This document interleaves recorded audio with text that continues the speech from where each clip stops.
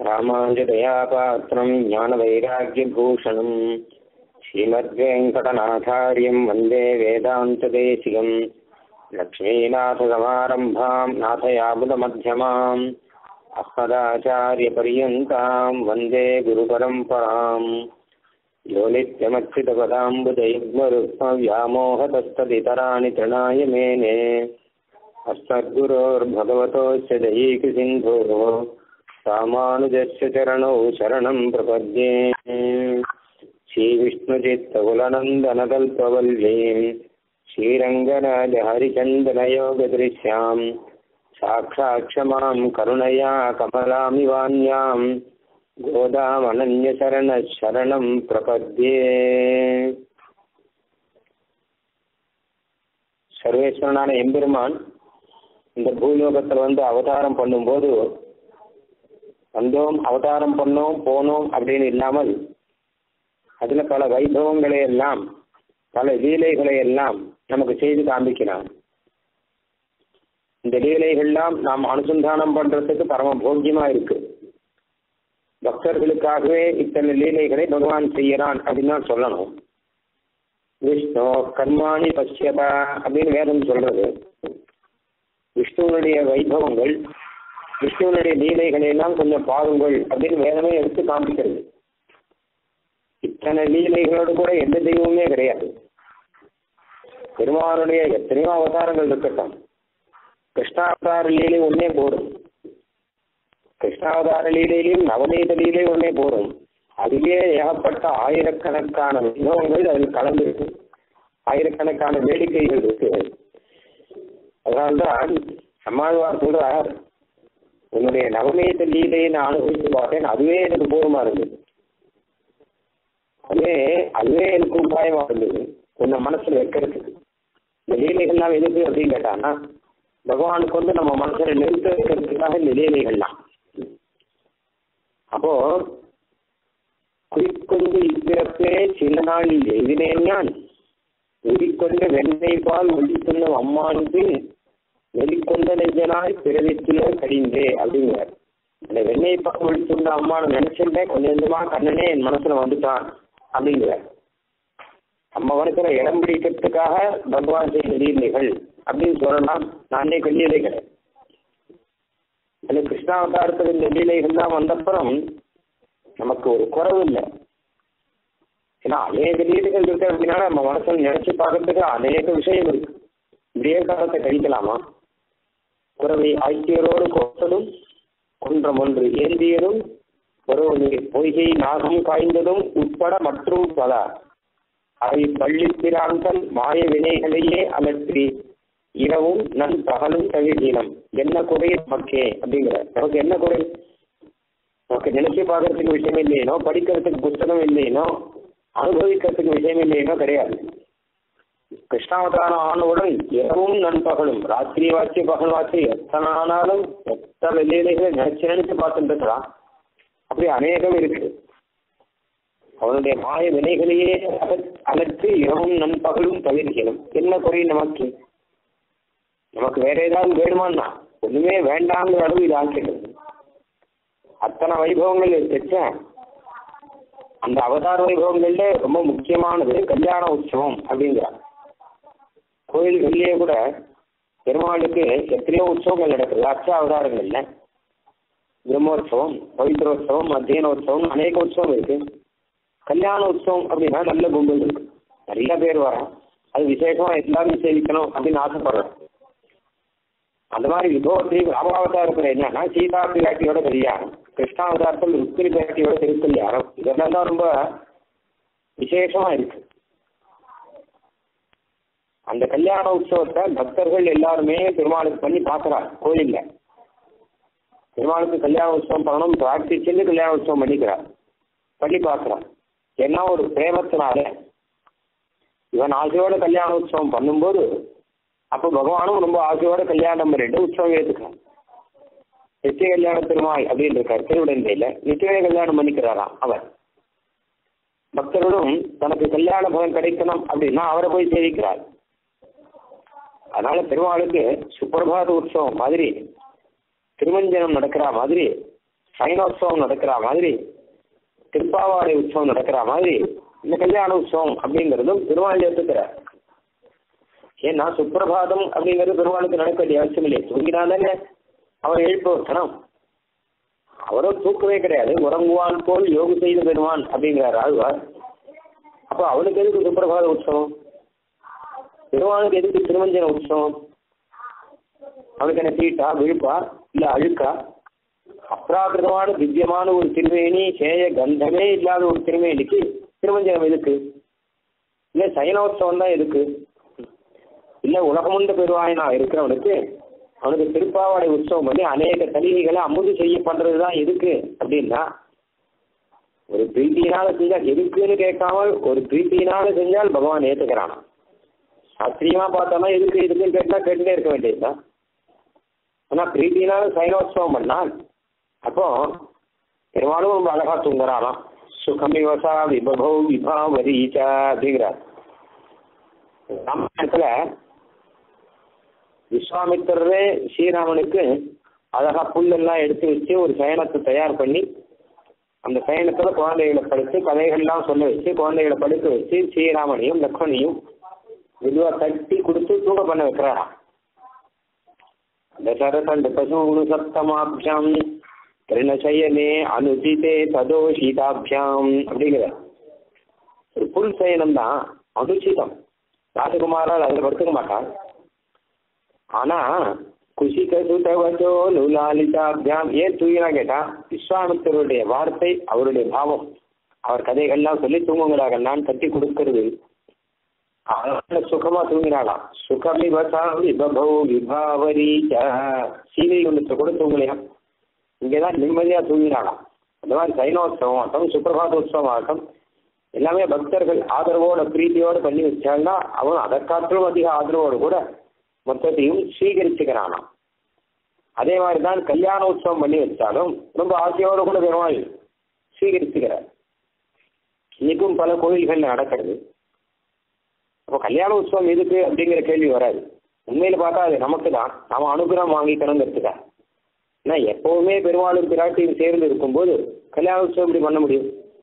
அகலுகில்லே நிறைவென்று அலர்மேல் வங்கி விரைவார்வான்னு நித்திய ஸ்ரீயா பெருமாள் இருக்கா?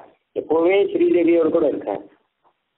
புதுசா எப்படி கல்யாணம் பண்ண முடியும் அப்படின்னா பெரியவாள்ல ஆத்துல பெரியவா அம்மா அப்பா இருந்தா அவளுக்கு சஷ்டத்து பூர்த்தியோ சதாபிஷேகமோ வந்தா அப்போ ஒரு கல்யாணம் நடக்குது. ஒரு கல்யாணம் பண்ணியிருக்கிறார். குழந்தைகள்லாம். ஏற்கனவே தான் விவாகம் ஆயிடுச்சு. இப்போ ஏன் பண்ணி வைக்கிறார் அப்படின்னா அவள் அனுகிரகத்தை வாங்கிக்கணுங்கிறதுக்காக சதாபிஷேகத்தில் அம்மா அப்பாவுக்கு கல்யாணம் பண்ணி வச்சு குழந்தைகள்லாம் கீழ் விழுந்து சேவிச்சு அவள் அனுகிரகத்தை வாங்கிக்கிறார் அவளுக்கும் கல்யாணம் பண்ணிக்கிறதே அதுக்காக தான். அவளும் நீங்க நன்னா இருக்குங்கோ. நீங்க நன்னா இருங்கோ அப்படிங்கிறதுக்காரே தவிர இந்த கல்யாணத்தால் இன்னும் புதுசாக எதுவும் சாதிக்க போகிறது இல்லை வயசாகி போச்சு. குழந்தைகள்லாம் நல்லா இருக்கணும் பேர குழந்தைகள்லாம் நல்லா இருக்கணும். அதனால அவ கல்யாண உற்சவம் பண்ணி கீழே விழுந்து செய்விச்சானா நீங்க நல்லா இருங்கோன்னு ஆசீர்வாதம் பண்றதுதான் அவா காரியம். அதுக்காகவே தான் அவ கல்யாணம் பண்ணிக்கிறான் அந்த மாதிரி பெருமான பிராட்டியும் எதுக்காக கல்யாண உற்சவம் பண்ணிக்கிறாள்னு கேட்டா பக்தர்கள் பண்ணி வைக்கும்போது அந்த பக்தர்களை அனுகிரகம் பண்றதுக்காக. எங்களுக்கு கல்யாண உற்சவம் பண்ணவங்க நீங்களா நல்லா இருந்தோ அப்படின்னு அனுகிரகம் பண்ணுறதுக்காக அதனால்தான் ஸ்ரீ லக்ஷ்மி கல்யாணம் நடக்கிறது. திருப்பார்க்கடல்ல பிராட்டி அவதாரம் ஆன உடனேயே பிராட்டியம் பெருமாளாக விவாகம் நடக்கிறது. அந்த பெருமாளுடைய திருவாரில் பிராட்டி எழுந்தல் இருக்காரா அங்கிருந்து ஒரு கட்டாட்சம் பண்ணாரா? அந்த கட்டாட்சத்தினால லோகம் மொத்தம் க்ஷேமமாச்சு அப்படிங்கிற. இவர் இங்க வந்து விவாகம் பண்ணிட்டது அந்த கடாட்சத்துக்காக தானா ஜெகத்தையெல்லாம் கடாட்சம் பண்ணணுங்கிறதுக்காகவா तस्यास्त्रिय जगतो जनन्याः। लक्ष्मीनिवासमकरोत् परमं विभूतेः। श्रीस्वा प्रजानातकरुणेन निरीक्षणेन। यत्र स्थितैधयत साधिपतीन् त्रिलोकान्। पक्षत्र वीत्तिरुन्दि அப்படி பிராட்டி கடாட்சம் பண்ணாரா அப்போ பாகவதம் சொல்றது ஸ்ரீ சுவாஸ்திரஜாக தன் குழந்தைகளை கடாட்சம் பண்ணார். இந்திராதி தேவர்கள்லாம் சுத்தி இருக்கா இப்போ விவாகம் பண்ணி வைக்கிறாள். அவள்லாம் விவாகம் ஆனவுடனே தன் குழந்தைகளை கடாட்சம் பண்ணாராம். ஏன்னா ஜனன்யா அம்மா வாக்க வக்ஷோ நிவாசமகரோது பரமம் விபூதே அம்மாவா இருக்கிறதுனால தான் மார்பில் போய் உட்காந்துக்கிறாராம் பெருமாள் திருமார்பில். இத்தனை பேர் பார்த்துட்டு இருக்கும்போது சசிராம் சர்வ தேவானாம் எயோ வக்ஷஸ்தலம் ஹரேஹே. எல்லா தேவர்களும் பார்த்துட்டு இருக்கும்போது திருவாழி திருவாரூர் ஏறி உட்காந்துட்டேன் என்ன அநியாயம்? பக்கத்தில் உட்காரும் போதே பல பேர் பார்த்துட்டு இருக்கும்போது யோசிப்பார் முன்காலத்தெல்லாம் கணவன் மனைவி அடுத்தடுத்து உட்காரத்துக்கே யோசிப்பாராம் ஒரே ஆசனத்தில் உட்காரத்துக்கே யோசிப்பார். ஆனா இத்தனை பேர் பார்த்துட்டு இருக்கும்போது ஏன் வந்து பிராட்டி விவாகம் பண்ணிட்டு பெருமாள் திருமார்பில் உட்காண்டார் அப்படின்னு கேட்டா இத்தனை பேரும் யாரு? ஸ்ரீ பிரஜாகா அவளுடைய குழந்தைகள் தானே. வேற யாரும் அந்நியால் இல்லையே இத்தரால் கிடையாதே. அவளுடைய சின்ன குழந்தைகள் எல்லாரும் பிரம்மாவிலேருந்து ஆரம்பிச்சு எல்லாருமே குழந்தைகள். அதனால குழந்தைகள் சன்னிதியில அம்மா அப்பா சதாஜய உற்சவம் நடக்கிற மாதிரி தான் இப்போ கல்யாணம் நடந்திருக்கு. எல்லாருமே சதாஜய அனுகிரகம் பண்ணாமல் தான் இவன் அனுகிரகம் பண்றாளாம். குழந்தைகளை எல்லாம் அனுகிரகம் பண்றாளாம். அதான் லட்சுமி தேவி ஒரு கடாட்சம் பண்ணாராம் ஸ்ரீஸ்வா பிரஜாக சகருணேன நிரீட்சணேன எத்திர ஸ்திதை தயதா. அந்த திருவாரூர் இருந்து அவர் பண்ண கடாட்சத்தினால லோகம் மொத்தமும் நல்லா வளர்ந்து இந்திரனுக்கு நிறைய ஐச்சரியங்கள் எல்லாம் கிடைச்சது அப்படின்னு அதனால பிரஜைகளை அனுகிரகம் வரணும் அப்படிங்கிறதுக்காக பகவானும் இந்த மாதிரி கல்யாண உற்சவங்களை எல்லாம் ஸ்வீகரிச்சுக்கிறான் இப்படிதான் சீதா கல்யாணம் நடந்தது. இப்படிதான் ருக்குணி பிராட்டி கல்யாணம் நடந்தது. சீதா கல்யாணம்னா எங்கேயோ பிரிஞ்சு இருந்து இங்க வந்து சேர்ந்தார் அப்படிங்கிறது கிடையாது. எப்பவுமே சேர்ந்துதான் இருக்கார் கம்பராமா இருக்கிற கம்பன் சொல்றார். கருங்கடல் பள்ளியில் கலவி நீங்கி பிரிந்தவர் கூடினால் பேசவும் வேண்டுமோ அப்படிங்கிறார். கல்யாணத்திலே சொல்றார். பிரிந்தவர் கூடி இருக்காள் அவ்வளவுதாங்கிறார். இப்பதான் புதுசா கல்யாணங்கிறது கிடையாது. கருவி எங்கே எங்க பிரிஞ்சார் அப்படின்னா க்ஷீராப்தியில பிறஞ்சா. கருங்கடல் பள்ளியில் கலவி நீங்கி க்ஷீராப்தியில இருக்கா? அதுவும் அங்க திருப்பள்ளியில இருக்கா? அதுவும் சேர்ந்துட்டே இருக்க. அங்கிருந்து கொஞ்ச நாள் ஒரு சின்ன பிரிவு. அந்த பிரிவு நீங்க அந்த கலவி நீங்கி பிரிந்தவர் கூட்டினால் பேசவும் வேண்டும் அப்படிங்கிற அதனாலதான் கண்ணோட கண் நோக்கினான் அந்த பேசுறதுக்கு காரியம் கிடையாது. புதுசா விஷயம் இல்லையே. ஏற்கனவே நடந்த விஷயம் தானே. இந்த மாதிரி தான் சீதா கல்யாணமும் நடந்தது இந்த மாதிரி தான் ருக்மிணி பிராட்டியருடைய திருக்கல்யாணமும் இப்படிதான் நடக்கிறது. அதே மாதிரி தான் ஆண்டாள் திருக்கல்யாணமும் நடக்கிறதா? பக்தர்கள் பண்ணி வைக்கிறார் அது ஆச்சரியமா நடக்கிறது. இல்ல ஆண்டாள் ஆசைப்படுறார் அதுவும் ஆச்சரியமா நடக்குது. பெருமாள் ஆண்டாள் திருக்கல்யாணத்தை ஏற்றுக்கிறதுக்கும் அதுக்கும் தாற்பயம் இதுதான். பக்தருடைய அனுகிரகத்துக்காக அப்படின்னு தான் சொல்லணும். ஆண்டாலும் ஒரு வியாஜத்தினாலே இந்த பூலோகத்துல வந்து அவதாரம் பண்ணியிருக்கேன் பூமி பிராட்டியாரே பகவானை நான் கல்யாணம் பண்ணிக்கிறேன் அப்படிங்கிறதுக்காகவே ஒரு அவதாரம். ஏன்னா நமக்கெல்லாம் காண்பிக்கிறதுக்காக அர்த்தத்தில் பெருமானே நான் விவாகம் பண்ணிக்கிறேன் அப்படின்னு காமிக்கிறதுக்காகவே இந்த அவதாரமா? நீங்களும் விவாகம் பண்ணிக்கோங்க. நீங்களும் இந்த ஆத்மாவை சமர்ப்பியுங்கள். அதுதான் விவாகம் அப்படிங்கிறத ஆண்டாள் குறிப்பா எடுத்து சொல்றார். குறிப்பா காமிக்கிறார் இந்த இடத்துல. அதனால சீதா பிராட்டி கல்யாணம் எத்தனை விசேஷமோ ருக்குனி பிராட்டியாருடைய திருக்கல்யாணம் எத்தனை விசேஷமோ அத்தனை விசேஷமா ஆண்டாள் திருக்கல்யாணமும் நடக்குது. அவருடைய மனோபாவங்கள் எல்லாம் அவருடைய பாசுரங்கள்ல பார்த்தா ஆச்சரியமா தெரியுது. பிறந்ததுலேருந்து ஆரம்பிச்சே கண்ணன் கண்ணன் கண்ணனையே நினைச்சு வளர்ற பெரியாழ்வார் கண்ணனை காமிச்சே ஆண்டாளை வளர்க்கிற அப்போ கண்ணனுக்கே தான் இந்த மனசு கண்ணனுக்கே தான் இந்த சரீரம் கண்ணனுக்கே தான் இந்த ஆத்மா அப்படின்னு அதுதான் தெரியாது. அப்படிங்கிற நிலைமையில ஆண்டாள் இருக்காராம் அதனால விவாகம் அப்படின்னு பேச்சு கண்ணனை தவிர வேற யாருக்கும் கிடையாது. எதுவானாலும் சரி அது கண்ணனுக்கே தான் அவனை உத்தேசிச்சு தான் அப்படிங்கிற அந்த விவாக வயசு வரைச்சே பெரியார் யோசிக்கிறார். ஆனா ஆண்டாளுக்கு யோசனைங்கிறதே தெரியும் இல்லை ஏன்னா இது கண்ணனுக்கு தான் அப்படின்னு முதல்லதே முடிவு பண்ணிட்டேன் அப்ப அதுக்காக என்ன பண்ணலாம்? கண்ணனுக்கு தன்னை சமர்ப்பிக்கிறதுக்கு என்ன பண்ணலாம்? கண்ணனுக்கோடு விவாகத்துக்கு என்ன பண்ணலாம்? அப்படின்னு பார்த்துதான் இந்த மார்கழி மாசம் விரதம் இருந்திருக்கார். அவர் மனசுனால ஏன்னா கோபிகா ஸ்ரீகள்லாம் அப்படி விரதம் இருந்தால் அப்படிங்கிறத கேள்விப்பட்டுதான் அவரும் விரதம் இருந்த அந்த விரதத்துக்கான பலனையும் சொன்னார். ஆண்டாள் கேட்க பலன் என்ன கேட்டா கண்ணனோடு கூடி இருக்கணும் அப்படிங்கிற பலன். அது கடைசியில வங்க கடல் கடைந்த மாதவனை கேசவனை அப்படின்னு அங்கேயும் திருக்கல்யாணத்தை தான் சொல்லியிருக்காரு. லட்சுமி திருக்கல்யாணத்தை சொல்லியிருக்கார். அப்போ இப்படி விரதம் இருந்தும் கண்ணன் வந்து விவாகம் பண்ணிக்கிறேன் அப்படின்னு முன்னாடி வந்து கைப்பிடிச்சு கூட்டுன்னு போலையாம் இது என்ன கேட்டா ஏதோ ஒரு அனுகிரகம் பண்ணியிருக்கான். தற்காலத்துல அந்த சமயத்துல ஆண்டாளுக்கு ஒரு மனசுல திருப்தி வரும்படி திருப்பாவை அருளி செய்த அந்த உபகாரம் தான் நடந்திருக்கு அதனால ஆண்டாளுடைய தாபம் தீரல. அவர் மனசுல நடந்த உத்தேசியம் அது இன்னும் நடக்கலையே. விவாகம் இன்னும் நடக்கலையே அப்படிங்கிறதுக்காக இவர் தொடர்ந்து பாசுரங்கள் எல்லாம் பாடுறார். அதுதான் நாச்சியார் திருமொழி அப்படின்னு பெயர். நேயமுடன் திருப்பாவை பாட்டு ஆரைந்தும் நீ உரைத்த கையறுதிங்க பாமானேங்கிறார். நேயமுடன் அப்படின்னா ரொம்ப ஆசையுடன் அர்த்தம். கண்ணன் கிட்ட ரொம்ப ஆசை இருந்தாதான் இந்த மாதிரி பாசனம் எல்லாம் வருவான். அதனால தொடர்ந்து நாச்சியார் மொழி நூத்தி நாற்பத்தி மூணு பாசனம் அப்படி செய்யணும் அதுல ஸ்பஷ்டமாகவே சொல்றார் நான் கண்ணனுக்கு தான். ஆத்மார்ப்பித்த பகவதோத்திர விபோ விஜேகின்னு ருக்மிணி பிராட்டியார் சொல்ற மாதிரி இந்த உடம்பு இந்த சரீரமே கண்ணனுக்கு தான் மனுஷாளுக்கு கிடையாதுன்னு நான் இதை வாழுமவானவர்க்கு மறையவர் எழுதியில் வகுத்தாவி காலிடை திரிவதோர் நரி புகுந்து நடப்பதும் நோப்பதும் செய்வதொப்ப அப்படிங்கிறார்.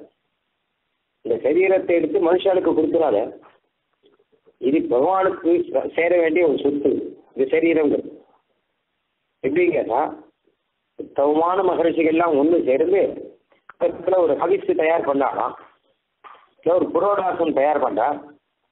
மந்திரங்களை எல்லாம் சொல்லி அதனால அந்த புரோடாசத்தை தேவதைக்கு சமர்ப்பிக்கணும் அப்படிங்கிறதுக்காக நிறைய மந்திரங்கள்லாம் சொல்லி ரொம்ப ஆச்சாரமாக ரொம்ப வைதீகமாக இவர்கள்லாம் தயார் பண்ணா தயார் பண்ணி அப்படி அவருக்கு சமர்ப்பிக்கணும் வச்சிருக்கும் போது அங்க காட்டிலிருந்து ஒரு நரி வந்து அதை மூச்சு பார்த்து எடுத்துட்டு போனா எப்படி இருக்கும்? அது எப்படி பொருத்தமா இருக்கும்? அது மனுஷியாளுக்கோ கூட கிடையாது தேவர்களுக்கு மந்திரத்தை சொல்லி தயார் பண்ணுங்க. சரி வந்து கடப்பதும் மோப்பதும் செய்வதும் தான் அதே மாதிரி இந்த சரீரம் பிறந்ததுலேருந்தே கண்ணனுக்கு இருக்கு. இதை கண்டப்ப இதை பார்க்க கூட கூடாது அப்படிங்கிறார். ஊரிடையாழி சங்கு உத்தமம் இருக்கு. திருச்செந்து திருச்சக்கரமுடைய பகவான் உத்தவனுக்காக இந்த சரீரத்தை மானிடவர்க்கு என்று பேச்சுப்படி வாழகில்லை மனுஷனுக்கு இந்த சரீரம் அப்படின்னு யாராவது சொன்னால் ஏன் இப்படி தெய்வம் தெய்வம்னு கத்திட்டு இருக்க? தெய்வம் எங்க வந்து கல்யாணம் பண்ணிக்க போறது? மனுஷால் கல்யாணம் பண்ணிக்கோன்னு சொன்னால் அப்போ மூச்சு நிற்காதான் மூச்சு விட விட மாட்டாராம் மூச்சு நின்று போயிடுவான் ஆண்டாள் மானிடவர்க்கென்று பேச்சுப்படி வாழகில்லை கண்டாய் மன்மதே. அப்படின்னா மனுஷருக்கு இல்லை. கண்ணனுக்கு தான் சொன்னப்படம் தான் மறுபடியும் மூச்சு வருமா அந்த அளவு ஒரு பாவத்தில் இருக்கா அந்த பாவத்தில் தான் அடுத்த விரதம் ஒன்று இருக்கார். தை மாசத்துல ஒரு விரதம் இருக்கார். பொங்கடி மாச கடவுள்னு அடுத்தது வருது. தை மாசம் மன்மத விரதம் அப்படின்னு பெயர். எம்பெருமான் கண்ணனுக்கு மதன கோபால கிருஷ்ணன் ஒரு ரூபம் இருக்கு. அதை உபாசனம் பண்ணால் நம்ம யார மனசுல நினைக்கிறோமோ அவளே பதியா வந்துருவாளாம் அவருக்கு விசேஷமா பூஜை எல்லாம் பண்ணோம்னா அவருக்கு விசேஷமா விரதங்கள்லாம் இருந்தால் மனசுல நினைக்கிறவாள் பத்தியா வந்துருவார் அப்படின்னு ஒரு விரதம் இருக்கு. பாகவதத்துல இதை பத்தி குறிப்பு இருக்கு. லக்ஷ்மி பிரியாட்டியார் இந்த விரதத்தை செய்கிறாராம். அவர் எல்லாரையும் செய்யவும் சொல்றார். அதுல கண்ணன் வந்து மன்மத ரூபத்துல இருப்பான். மன்மத கிருஷ்ணன் மதன கோபாலன் கையில கருப்பு வில்லு வச்சிருந்து மன்மதன் மாதிரியே இருக்கிற கண்ணனை நீயே எனக்கு பத்தியா வரணும் என்று பிரார்த்திக்கலாம் அதுதான் அந்த விரதம். அதைத்தான் அடுத்ததில் இருக்க கையொரு திங்களும் தரை விளக்கி தன் மண்டலமிட்டு மாசி முன்னாள் ஐயனுன் மாந்திருவணிந்து அழகினுக்கு அலங்கரித்து அலங்க தேவாம் இந்த விரதத்துல என்ன பண்ணணும் கேட்டா முதல்ல அந்த மதன கோபான்மா இருக்கக்கூடிய மகனை வரவேற்கணும் வரவேற்கணும் அப்படிங்கிறதுக்காக ஆத்து வாசல் பெருசா கோலமெல்லாம் போடணும். தை மாசம் வந்த உடனே ஒன்னாம் தேதி வருது. மார்கழி விரதம் முடிஞ்ச உடனே தை ஒன்னாம் தேதி வரும். தையொரு திங்களும் தரை விளக்கி அப்படிங்கிற காமெல்லாம் மொத்தமும் சுத்தம் பண்ணி தரையெல்லாம் சுத்தம் பண்ணி பழசெல்லாம் என்ன இருக்கோ மொத்தத்தையும் தள்ளிட்டு சுத்தமாக வச்சுக்கணும். தன் மண்டலம் இட்டு அப்படின்னா அழகாக கோலங்கள்லாம் போடணும். வாசல்லாம் கோலம் போட்டு அவனை வரவேற்கணும். வெள்ளை நுண் மணற்கொண்டு தெருவெளிந்துங்கிறான் நல்ல நல்ல சின்ன மண் வெள்ளை மண் கோலப்பொடி. அதை வச்சு பெருசாக அலங்காரமாகும் இருக்குன்னு கேட்டானா அவன் பகவான் வரான் அப்படிங்கிறதுக்காக ஐயனுன் மணற்கொண்டு பெருவெளிந்து அழகினுக்கு அலங்கரித்து அனங்க தேவா தெரு முழுக்க அடைச்சிட்டு கோலம் போடுறான். இன்னைக்கும் நடந்துருக்கு இன்னைக்கும் போகி இன்னைக்கு அதாவது மார்கழி மாதம் கடைசி நாள்ல போகி திருநாள் போகி திருநாள் அன்னைக்கு ஆ முழுக்க ரொம்ப சுத்தமாக்கி உலகெல்லாம் மொத்தத்தையும் தள்ளிட்டு அப்பாவை களைஞ்சிட்டு சுத்தமாக்கி வைக்கிறாள் மறுநாள் உற்சவத்துக்காக.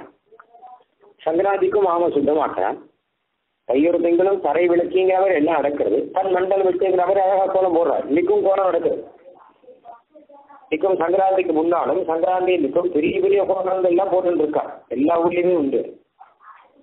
இது ஆண்டாள் தான் காமிச்ச வழி புராணத்துல காமிச்ச வழியை பின்பற்றி ஆண்டாள் இந்த விரதம் இருந்தாருங்கிறபடினால அதெல்லாம் இன்னைக்கும் நடத்திட்டு இருக்கோம் ஆண்டாள் என்ன சொல்றார் அப்படின்னா நெய்யதோ தழுவை சக்கரத்தை வேங்கடவர்க்கு என்னை விதிக்கிட்டியே இதான் என்னுடைய பிரார்த்தனை. எதுக்காக இந்த மாதிரி இந்த விரதம் இருக்கேன் அப்படின்னா திருவேங்கடவனுக்கு என்னை சேர்த்து விடணும். அவனுக்கு நான் வாழ்க்கப்படணும். அவனுக்கு நான் விதிக்கப்படணும். வேங்கடவர்க்கு என்னை விதிக்கிட்டியே அப்படின்னு பிரார்த்திக்கிறேன் நான் அவனுக்கே விதிக்கப்படணுமே. வேற யாருக்கும் ஆகக்கூடாது. இந்த சரீரம் வேற யாருக்கும் இல்லைங்கிற அழகான வார்த்தை. அதான் வேங்கடவர்க்கு என்னை விதி என்னை இம்மாற்றம் நான் கடவா வண்ணவேனது அம்மா வேங்கடவர்க்கு என்னை விதி நீ சொன்னிய. அந்த வார்த்தை அது நாங்களும் சொல்லணும். அதை மீறக்கூடாது நாங்க.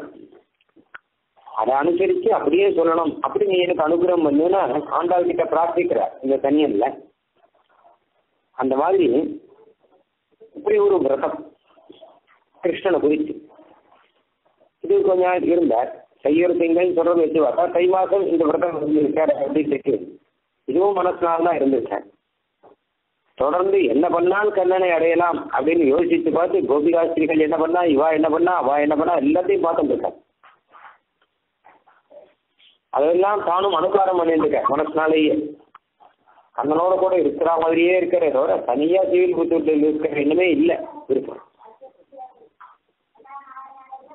அதனால்தான் அடுத்தது சிற்றில் விளையாடும் போது கண்ணன் வந்து அந்த சிற்றில் அழிக்கிறான். மாமுகில் போல் வண்ணா உந்தன் பேச்சும் செய்கையும் எங்களை மையலேற்றி மயக்க உன்முகம் மாய மந்திரம் தான் கொலோ.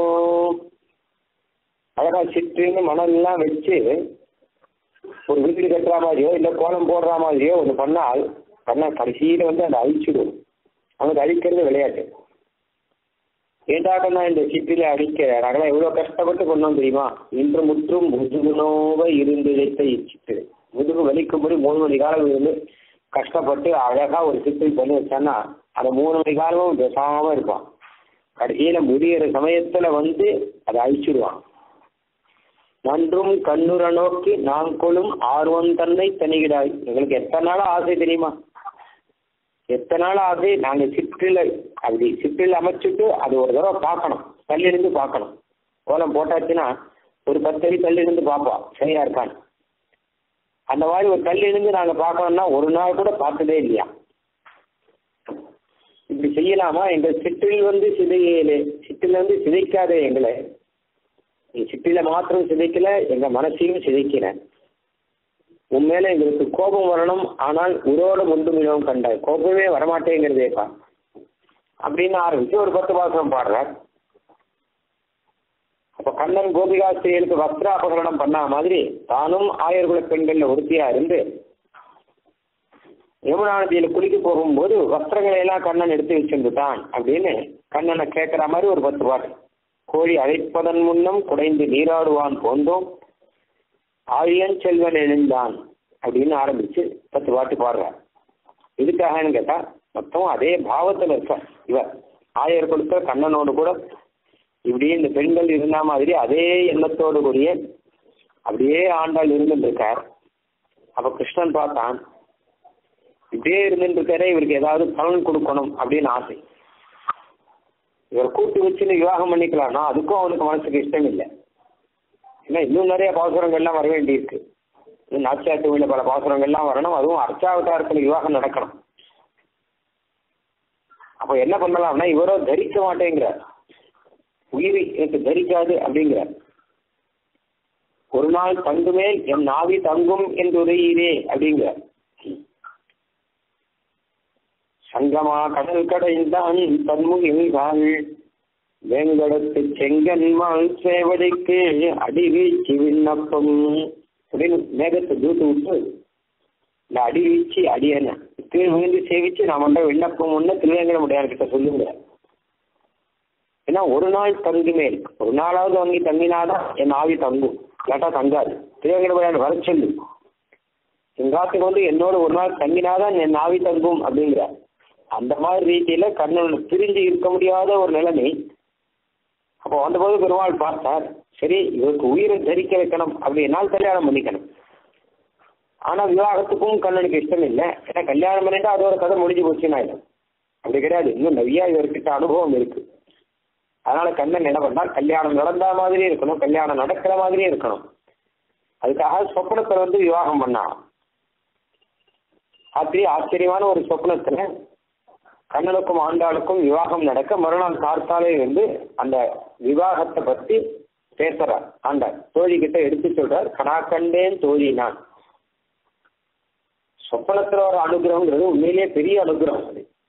இதே சொப்பனங்கிறதே பகவான் நமக்கு கொடுக்கறது தான் நல்லதோ கெட்டதோ சுகமோ துக்கமோ ஆனந்தமோ எதுவானாலும் சரி பகவான் தான் நமக்கு சொப்பனத்தை ஏற்பாடு பண்ணி வச்சு பகவானே இந்த வஸ்துக்கள் எல்லாம் காமிச்சு எல்லாத்தையும் உண்டு பண்றான் அப்படிங்கிறது தான் சத்தியம். சொப்பனமெல்லாம் வெறும் பொய் அப்படின்னு சொல்றதெல்லாம் நம்ப வேண்டாம். ஏன்னா சாஸ்திரம் என்ன சொல்றது அப்படின்னா சொப்பனமெல்லாம் சத்தியம் அப்படிங்கிறது. ஏன்னா நமக்கு அந்த பலன் தரானா பகவான். அந்த பலனை பொய்ன்னு சொல்ல முடியாது. நமக்கு சந்தோஷத்தை கொடுக்குறான்னா சந்தோஷம் இருக்கு துக்கத்தை கொடுக்குறான்னா துக்கம் இருக்கு. சொப்பனத்திலே எல்லாம் இருக்கு. அதனால பகவானுடைய அனுகிரகம் சொப்னத்தில் பெருமாள் செய்தா அது ஒரு அனுகிரகம். சொப்னத்துல சந்தோஷமா இருந்தா அது ஒரு அனுகிரகம். இது எல்லாருக்கும் கிடைச்சிடாதா? சீதாதேவியே எனக்கு சொப்னம் வரலையேங்கிற. சொப்னேபி யத்யகம் வீரம் ராகவம் சக லக்ஷ்மணம் பசியேயம் எது ஜீவேயம் சொப்னோபி மம மத்சரி. சொப்னம் கூட எனக்கு எதிர சதி பண்றது. சொப்னத்திலேயாவது பெருமாளும் லக்ஷ்மணமாக ரெண்டு பேருமாக வந்து இருப்பாளா? எனக்கு கூட்டுன்னு போறதா? அப்படி ஒரு சொப்னம் எனக்கு வர மாட்டேங்கிறதே சொப்னம் எனக்கு எதிராக இருக்கே அப்படிங்கிறார் அதுதான் சீதையை காட்டிலும் கோதைக்கு பெருமை அதிகம். ஏன்னா இவருக்கு சொப்பனம் வந்துருக்கு. அங்கேயே சீதாதேவிக்கு சொப்பனம் வரல. சீதாதேவி பக்கத்துல இருந்த திரிஜதாக்கு சொப்பனம் வந்துருக்கு. ஒரு ராட்சசி திரிஜதாக்கு சொப்பனம் வந்து அவர் சொல்ல அதை சீதாதேவி கேட்கும்படி ஆயிருக்கு.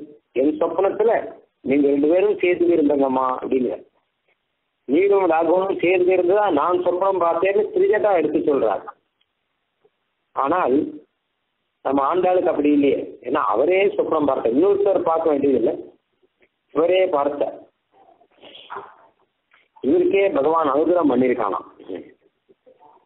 அதை பத்து பாசுரங்கள்லாம் ஆச்சரியமா பாடியிருக்கார் உண்மையில ஆண்டாள் திருக்கல்யாணம் அப்படிங்கிறது இதுதான். சொப்னத்தில் நடந்த கல்யாணம் தான். முதல்ல சொன்ன மாதிரி சொப்ன அனுபவத்துக்கு சமமா திருச்செந்துக்கிற அனுபவம் கூட வராது. சில சமயம் அத்தனை கஷ்டமாகும். ஆண்டாளுக்கு சொப்பனத்தில் நடந்த விவாகம் அப்படிங்கிறது ரொம்ப விஸ்தாரமா நடந்திருக்கு. கல்யாணத்தினுடைய ஒவ்வொரு அம்சங்களையும் அவர் பாடியிருக்கார். ஆண்டாள் கிரமத்தை மொத்தமும் பாடியிருக்கார். அது அப்படியே ஞாபகம் சின்னவரை போறோம்? கல்யாணங்கிறது எப்படி நடக்குங்கிறது நமக்கு தெரிஞ்சிடும். முதல்ல ஆரம்பத்துல என்னன்னு கேட்டா வாரணமாயிரம் சூழவலம் செய்து நாரண நம்பி நடக்கின்றான் என்றது பூரண பொற்புடம் வைத்து புறமெங்கும் தோரணம் நாட்ட கனா கண்டேன் தோழினான் கல்யாணத்துக்கு முன்னாள் ஜானவாசம் அப்படின்னு மாப்பிள்ளை அழைப்பிலேருந்து சொப்னம் வந்தது. அதான் சொன்னேன் ஒண்ணு கூட விடல சொப்னத்துல நாராயணன் நம்பி நடக்கின்றான் அப்படிங்கிற நாராயணன் நடந்து வராராம் இந்த மாப்பிள்ளை அழைப்புல. கார்ல கூட வரலையா? இவர் நடையழக பார்க்கணும்னு ஆசைப்பட்டு இருக்கார் அதனால கண்ணனும் அப்படியே சேவை சாதிக்கிறான். அவனே நடந்து வரா மாதிரி. பூரண பொற்குடம் வைத்து புறவெங்கும் தோரணம் நாட்ட கனா கண்டேன் கௌரிதான். எல்லா இடத்துலையும் தோரணம் எல்லாம் எடுத்து வச்சு கண்ணனுக்காக ஒரு கல்யாணத்துக்காக எங்க பார்த்தாலும் அலங்காரங்கள் பண்ணியிருக்கா எல்லா இடத்துலையும். பூரண பொற்குடம்னு பூர்ண கும்பங்கள்லாம் எடுத்து வச்சிருக்காள். அப்ப நாரணன் நம்பி நடந்து வரான் கல்யாணத்துக்காக. அதிலிருந்து ஆரம்பிச்சு சொப்பனம். நாளை வதுவை மனமென்று நாளிட்டு பானை கமுகு பரிசுடர் பந்தற்கே. கோளறிவாதவன் கோவிந்தன் என்பானோர் காலை புகுத கனா கண்டேன் தோறினான். நாளை மனமென்று. நாளைக்கு கல்யாணம். அப்படின்னா இன்னைக்கு நடந்த வைபவத்திலே இந்த சொப்னம். விவாக நாள் மாற்றம் கிடையாது. விவாகத்துக்கு முன்னாலும் அதுவும் ஆனந்தம். என்னைக்கு விவாகம் என்னைக்கு விவாகம் முன்னாடி பல நாள்கள்ல ஆனந்தம் இருக்கான். நல்ல பெரிய பிராமணர்களை எல்லாம் கூட்டு வச்சு என்னைக்கு கல்யாண நாள் அப்படின்னு பார்த்து நிர்ணயம் பண்ணி அதுக்கப்புறம் இந்த கல்யாணம் நடக்கிறதுங்கிற. நாளை வதுவை மனமென்று நாளிட்டுங்கிற. நாள் வச்சிருக்கா. யாருன்னா பெரியவர்கள். விவாக பத்திரிகையில பெரியவர்களால் நிச்சயிக்கப்பட்டு மேற்படி முகூர்த்தம் நடக்கிறதுங்கிற. அதுக்கு அத்தனை கௌரவம் இருக்கு. அந்த மாதிரி நாளைக்கு தான் கல்யாணம் அப்படின்னு ஏற்கனவே அவர்கள்லாம் நாள் குறிச்சு வச்சிருக்கா? அதிலிருந்து அனுபவிக்க. அப்போ அழகான ஒரு பந்தம்ல கண்ணன் உள்ளுக்குள்ள பிரவேசம் பண்ணும்போது கோவிந்தன் அப்படிங்கிற காலை புகுத கனா கண்டேன் தோழினான் ஒரு காலை உள்ளுக்குள்ள பிரவேசிக்கிற மாதிரி அந்த பந்தருக்குள்ள கல்யாண பந்தருக்குள்ள கண்ணன் பிரவேசிக்கிறான். கண்ணன் நடக்கிற அழகு அந்த மண்டபத்துக்குள்ள அவன் பிரவேசிக்கிற அழகு அப்போ கோவிந்தன் என்பானோர் காலை புகுத தலா கண்டேன் தோழினான் காளையனுடைய அழகும் காளையனுடைய ஒரு காம்பீரியமும் காளையனுடைய நடையழகும் எல்லாத்தையும் பாடுறார். நான் திசை தீர்த்தம் கொணர்ந்து நனி நல்கி பார்ப்பன சிட்டர்கள் பல்லாண்டெடுத்தேத்தி பூப்புனை கண்ணி புனிதனோடு தன்னை காப்பு நான் கட்ட கனா கண்டேன் தோழி நான். காத்து நான்கு பக்கத்திலேயும் நல்ல தீர்த்தங்கள் எல்லாம் கொண்டு வந்திருக்கான் தீர்த்தங்கள் கொண்டு வந்து புண்ணியாவசம் பண்ணி இப்படிதான் விவாகம் ஆரம்பம். நல்ல தீர்த்தமா வேணும் அப்படின்னு சொன்னார் வாத்தியார். நாலு பக்கத்துலேருந்தும் சுத்தமா ஜலம் கொண்டு வந்துருக்கலாம். நாலு திசை தீர்த்தம் கொணர்ந்து நனி நங்கி நல்ல தீர்த்தம்னா பைப்பில் பிடிச்சிட்டு வரல. ஸ்ரீராம பட்டாபிஷேகத்தில் எப்படி நாலு பக்கம் கொண்டு வந்தாலும் அப்படி கொண்டு வந்திருக்கான். அப்போ வாய் நல்லார்கள் நல்ல மறையோதின்னு சொன்ன மாதிரி நல்ல வாயுடையவர்கள் வேதாத்தியனம் பண்ண பிராமணர்கள் தன் வாயினாலே வேத மன்றங்களை ஓயாது சொல்றவர்கள் அவர்கள்லாம் பொல்லாட்டு எடுத்து ஏற்றி நிச்சயமா இருக்கிறோம் அப்படின்னு சொல்ல அப்போ விவாகத்துல ஆரம்பத்துல காப்பு நான் கட்ட கலாக்கண்டு கண்டேன் காப்பு கயிறு கட்டுறாளாம் கையில. பூப்புரை கண்டி புனிதனோடு எந்தென்னை காப்பு நான் கட்ட. கண்ணனுக்கும் காப்பு கயிறு கட்டி ஆண்டாளுக்கும் காப்பு கயிறு கட்டாய் அப்படின்னு அதை அனுபவிக்கிறார். அவனுக்கு கட்டுற மாதிரி இவருக்கும் கட்டாது அப்போ புனிதனோடு எந்தன்னை கண்ணனோடு கூட எனக்கும் கட்டுறாளே. அதாவது வாத்தியார் தான் விவாகம் பண்ணி வைக்கிற வாத்தியார் தான் இந்த நான் கட்டணும். இப்போ விவாகங்கள்ல மாப்பிள்ளைக்கு இவர் வந்து நான் கட்டுறார். பெண்ணுக்கு வந்து இந்த மாப்பிள்ளையை கொண்டு கையில நான் கட்ட சொல்றார். ஏன் அப்படின்னா இன்னைக்கு காலத்துக்கு அப்படி இருக்கு. முன் காலத்துலலாம் சீக்கிரமே கல்யாணம் ஆயிடும். குழந்தைகளுக்கெல்லாம் ஒரு பத்து வயசுல குழந்தைகளுக்கு கல்யாணம் ஆயிடும். அடுத்த கல்யாணம் அப்படிங்கிறது ஐம்பது வருஷம் கழிச்சு சத்தியத்து பூர்த்தி வரும். முன்னாடி எல்லாம் கல்யாணம் ஆனப்புறம் ரொம்ப நாள் கழிச்சு சத்தியத்து பூர்த்தி வரும். இப்பெல்லாம் கல்யாணம் ஆன உடனே சத்தியத்து பூர்த்தி வந்துடும் அவ்வளோ நாய் கழிச்சு கல்யாணம் நடக்கிறது. அப்போ பத்து வயசு குழந்தைக்கு சூத்திரத்தில் சொன்னபடி அந்த கிரகஸ்திரியா இருக்கவர் வாத்தியாரா இருக்கவர் அவரே தான் கையில வந்து நான் கட்டுவார் அதை ஆண்டாள் அழகா பாடுறேன் இப்போ என்ன ஆச்சுன்னா கல்யாண பொண்ணுக்கே இருபத்தஞ்சு வயசு ஆரம்பிடி வேலை இவர் கல்யாணம் இவன் கயிறு கட்டுறேன் அப்படின்னு வாத்தியார் கயிறு கட்டுறேன்னு ஆரம்பிச்சா அது திருஷ்டி விருத்தமா இருக்கு. நீங்க வேண்டாம் பையனை கட்ட சொல்லுங்க அப்படின்னு ஆயிடுச்சு. ஆனா பூப்புனை கண்ணி புனிதனோடு எந்தென்னை அப்படின்னா அவனுக்கு நான் கயிறு கட்டும் போது அதே சமயத்துல எனக்கும் நான் கயிறு கட்டார் காப்பு அந்த சம்பந்தம் இருக்கேங்கிற. ஏன்னா அவருக்கு கட்டின வாத்தியார் தான் எனக்கும் நான் கயிறு கட்டுறாருன்னா கையில கங்கணம் கட்டுறாருன்னா அந்த சம்பந்தம் இருக்கேன்னு அதை நினைச்சு சந்தோஷப்படுறேன் அல்ப சம்பந்தத்துக்கு வருவோம் அதுவும் எப்படி இருக்கான்னா பூப்புனை கண்ணி புனிதனோடு எந்தெண்ணை? ரொம்ப சுத்தமா இருக்கானா கண்ணன். காத்தால இருந்து தீர்த்த மாதிரி ரொம்ப ஆச்சாரமா யார் மேலேயும் படாமல் கையில பவித்திரங்கள்லாம் தெரிச்சுட்டு என்னை யாரும் தொடாதுங்கோ என் மேல யாரும் தொடாதுங்கோன்னு அத்தனை சுத்தமா இருக்கான். ஏன் அத்தனை சுத்தமா இருக்கணும்னா கல்யாணம் விவாகம் அந்தரங்கள்லாம் சொல்லணும். ஹோமங்கள்லாம் பண்ணணும். அதுக்காக சித்தியா இருக்கான். கண்ணனுக்கு எங்கேருந்து இந்த சித்தி வந்தது? இவன் ஆயிர குலத்திலிருந்து தானே இருக்கான். ஆண்டாலே ஆயிர குல கண்ணன் தானே ஆசைப்படுறார். அதனால ஆயிர குலத்துல அவளுக்கு என்ன தெரியும்? அவளுக்கு என்ன ஆச்சாரம் இருக்கு? சாயங்காலமா பல் தேய்க்கிற கும்பல். பல் தேய்க்கலாமா? வேணாமான்னு யோசிச்சு மெதுவா பல் தேய்க்கிற கும்பல். இப்படி ஒரு ஆச்சாரமும் இல்லாத ஆயிர குலத்துல வந்த கண்ணனுக்கு இப்ப எப்படி சித்தி வந்தது அப்படின்னு கேட்டா அவனே ரொம்ப ஆச்சாரமா இருக்கு. ஏன்னா பெரியாழ்வாருடைய மகனை கல்யாணம் பண்ணிக்கணும்னா ரொம்ப ஆச்சாரமா இருக்கும். எங்கேயாவது ஆச்சார குறவு அப்படின்னு சொல்லிட்டு பொண்ணை கல்யாணம் பண்ணி கொடுக்க மாட்டேன். பெரியாழ்வார் சொல்லிட்டா என்ன பண்றது? அவரும் ரொம்ப ஆச்சாரம். திகபுல திலகம் தம் விஷ்ணு சித்தம் நமாமி. பிராமண குலத்துக்கே திலகமா? அந்த காலத்துல ஆச்சாரத்துல ஏதாவது சந்தேகம் வந்தா பெரியாழ்வார் கிட்ட தான் கேட்பாளாம். யாகத்துல ஏதாவது சந்தேகம் வந்தா இவர்கிட்ட தான் கேட்பாளாம். அப்படிப்பட்டவர் பெண்ணை விவாகம் பண்ணிக்கணும். அப்படின்னா கொஞ்சம் ஜாக்கிரதையா இருக்கும் திடீர்னு மாட்டேன்னு என்ன பண்றது? அதனால கண்ணனும் ரொம்ப சுத்தமா என்ன அப்படிங்கிறாமா? என் கையை கொடுக்காதோ அப்படிங்கிறான் ஏன்னா பாணி கிரகணம் பண்ணணும்? அது வரைக்கும் சுத்தமா இருக்கான். பாணி கிரகணம் பண்ணச்சுன்னா கை கொடுக்குறா எல்லாரும். பெண்ணுடைய கை பிடிச்சுக்கோன்னு மந்திரம் இருக்கு. இவன் வேற பிடிச்சிக்க வந்துட்டாரு அப்படி இல்லாமல் யாரும் என்ன தொடக்கூடாதுன்னு நான் கண்ணன். பூ புனை கன்னி புரிதனோடென்னை காப்புனான் கட்ட கனா கண்டேன் தோழி நான் அப்படின்னு ஆரம்பிச்சு விவாதத்தினுடைய எல்லா சப்ஜெக்ட் இதுல. அதுல ஏதாவது ஒண்ணு ரெண்டு வாரணமா எடுத்து விட்டு போயிருந்ததுன்னா லௌகிகமா ஒண்ணு ரெண்டு விட்டு போயிருக்கு. அது தேசிகன் வந்து கோதாஸ்தியில சொல்லி பூர்த்தி பண்ற. நாகேஷ யச்சுதனு பக்ஷிரத கதந்தே. जातस्वयंवरपते पुरुषः पुराणः एवं विधा समुचितं प्रणयं भवत्याः சந்தரிசயந்தி பரிகாசகிரசகீனாம் வைதிகமான காரியங்கள்ல ஆண்டாள் சொல்லிட்டே வந்திருக்கார் வாசம் ஜான் வாசம் கூட சொல்லியிருக்கார் ஆனால் லௌகிகமா சில வேடிக்கை எல்லாம் நடக்கும் அதுல ஒண்ணு தோழிகளுடைய பரிகாசம் தோழி எல்லாம் பரிகாச பேச்சு பேசிட்டு இருப்பார் இது கல்யாணத்துல விஜயமா நடக்கும். பல இடங்கள்ல. சொல்ற தேசிகன் ஆண்டாள் வேடிக்கையா பரிகாசம் பண்ணிட்டு இருக்காளாம். போயும் போய் ஒரு மாப்பிள்ளையை போய் பிடிச்சியே. அதுவும் சுயம்பரம் இவரதான் கல்யாணம் பண்ணிக்க வேற யாரும் கல்யாணம் பண்ணிக்க மாட்டேன்னு சொல்லி ஒருத்தர் பிடிச்சியே. அவர் எப்படி இருக்காரு பாருங்க. என்ன பண்ணிட்டாருன்னா நாகேஷயா பாம்புல படுத்துருக்காரு இருக்காரு எங்கேயா நல்ல படுக்கையா கிடைக்காது அவருக்கு. நீயும் போய் பாம்புலையா படுத்துட்டு போற. போய் போய் இது தேவையா? நல்ல இடத்துல இருக்கணும். நல்ல படுக்கை இருக்கணும் ஆசைப்படுவாள் நாகேச பக்ஷி ரத இல்ல வாகனமாவது நல்ல காரா இருந்தா பரவாயில்ல. பக்ஷி ரசா இல்லாமல் பக்ஷி மேல ஏறி உட்காந்து ரெண்டு பேரும் எங்கிட்டு போகிறோங்க இப்படி ஒருத்தர் எப்படி உனக்கு பத்தியா நீ ஆசைப்பட்டேன்னு பரிகாசம் பண்றாங்க. ஏவம் விதா சமுச்சிதம் பிரணயம் பவத்யா.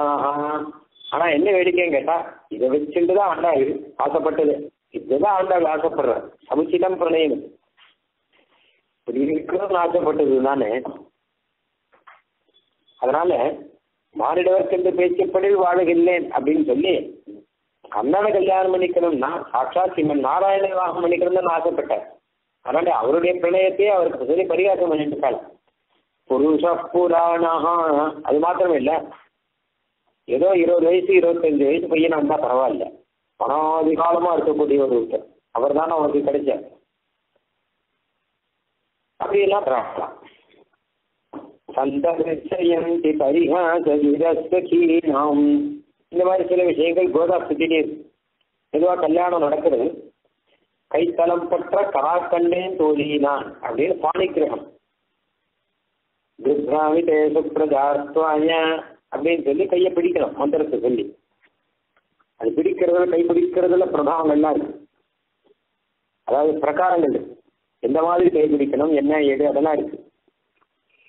பாணி கிரகணங்கிறது கை பிடிச்சலுங்கிறது வாழ்நாள் சேர்ந்து இருக்கிறதுனால ஒரு ஆதாரமா. அதனால்தான் கை விடாதுங்கோங்கிற. ராஜ்யார் சொல்ல நான் சொல்ற வரைக்கும் கை விடாதுங்க அப்படியே பிடிச்சுக்கோங்க. அதுக்கப்புறம் ஹோமம் பண்றதுக்கு முதலான காரியத்துக்கு கை விட்டா போதும். ஆனால் இந்த காலத்துல நடக்கிற கூத்து வச்சு பார்த்தா சாஸ்திரத்துக்கும் இப்ப பாதி பேருக்கு விஷயமே தெரியாது. இவன் பாட்டுக்கு பாணி கிரகணம் பண்ணி கை பிடிச்சுக்கோன்னார் வாத்தியார். கை பிடிச்சிருந்தான் நடு நடுவில் வேற ஒருத்தர் கை கொடுத்தார். வாத்தியாருக்கு கோபம் வந்துட்டோம் யாருக்கும் நீ கை கொடுக்க கூடாது. இவன் கையை கெட்டியா பிடிச்சுக்கோன்ட்டார் நான் சொல்ற வரைக்கும் கை எடுக்காத அப்படின்னு சரின்னு விட்டாங்க இங்கேயே கொஞ்ச நாள் ஆச்சு. அவன் பிராணாயாமம் பண்ணணும். ஓம் பூ அப்படின்னு சொல்லி பிராணாயாமம் பண்ணணும். வாத்தியம் சொன்னா பிராணாயாமம் அப்படி இல்லை. அவனுக்கு புரியல. பிராணாயாமம் சொன்னா என்னன்னு தெரியும் எனக்கு ஓம் பூ பண்ணுங்கோ அப்படின்ல அப்போ அவனுக்கு புரியல. அவ கையை விடல கையை பிடிச்சிருக்கான் ஏன்னா நான் சொல்ற வரைக்கும் கையை பிடிச்சிக்க விடாதான்னு சொன்னார் இல்லையோ? அதனால கிட்டே கையை பிடிச்சிருக்கான் இருக்கான். ஓம் பூ பண்ணுங்கோன்னு சொன்னாலும் அவனுக்கு புரியல. ஒரு அனுஷ்டானமும் தெரியாத பாதியா இருக்கான். பாத்தியா பார்த்தா கை விடுங்கோ. அப்படின்ல அப்ப கை விட்டான். மூக்க அப்படின்னாரு. இது சொன்னாலும் புரியும். கை உடம்புல கை விட்டா மூக்க அப்படின்னா உடனே வாத்தியாரோட மூக்க போய் அந்த மாதிரி வேடிக்கை எல்லாம் இந்த காலத்துல நடந்துட்டு கைத்தளம் கைத்தலம் பற்ற என்ன? பாணிகிரகங்கிறது அத்தனை விசேஷமான விவாகத்துல அந்த திருமங்கல்ய தாரணத்தை காட்டிலும் இதுதான் ரொம்ப விசேஷமா இருக்கு. திருமங்கல்ய தியானம் கூட அத்தனை விசேஷமா சொல்லல பல இடங்கள்ல. பாணிங்கிரிணேஸ்வ பாணி நான் ராமாயணத்துல இதுதான் வருது. சீதாதேவியில கையை பிடிச்சுக்கோரு கையை பிடிச்சு கொடுக்குறாராம் எனக்கு. ஸ்ரீராமன் கிட்ட. அப்படி கண்ணன் என்னுடைய கைத்தல கனாக்கண்டேன் தோழினான் அப்படின்னு அது சொப்னத்தில் பார்க்கிறார். அழகா மாலை மாத்திர வைபவம் நடக்கிறது ரெண்டு பேருக்கும்.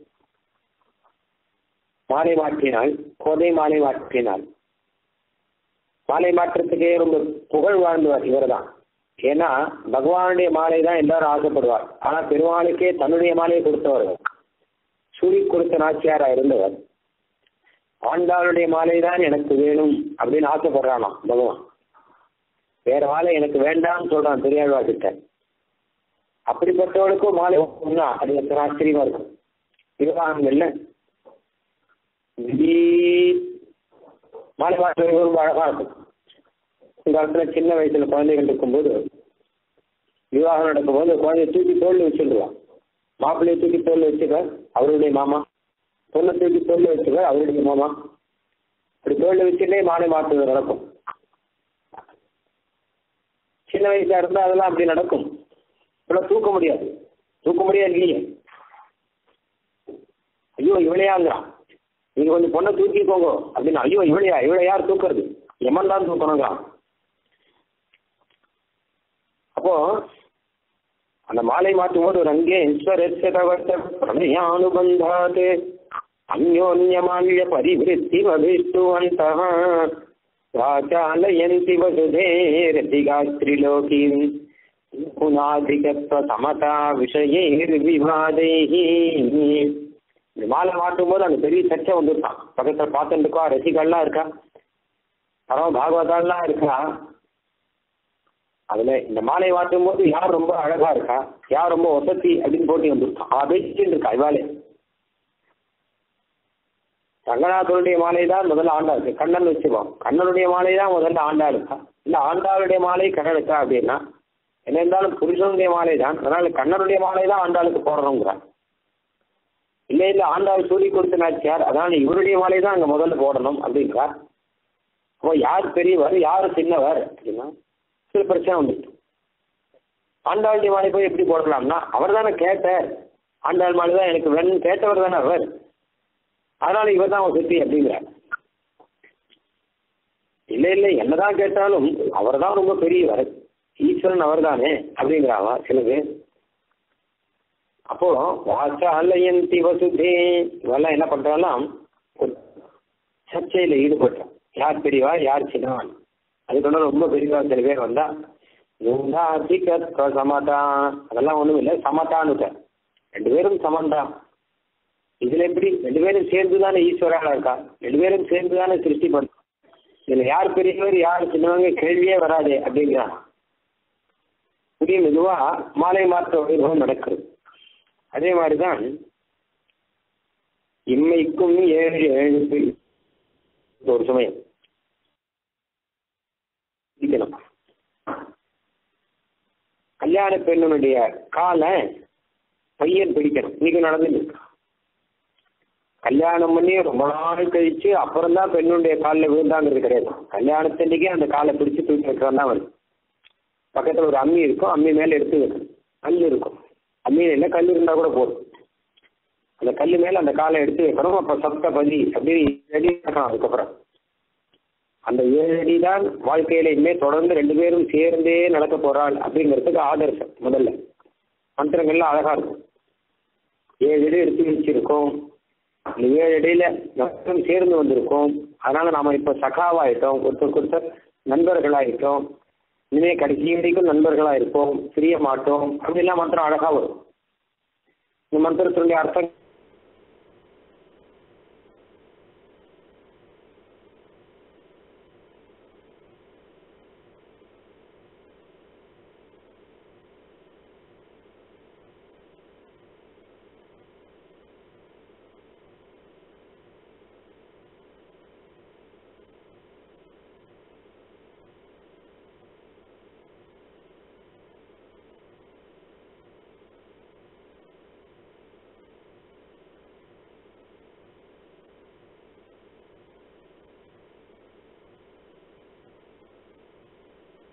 ரொம்ப சந்தோஷம்.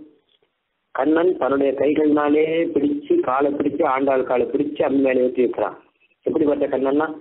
இன்னைக்கும் ஏழு ஏழு பிறவிக்கும் பற்றாவான்.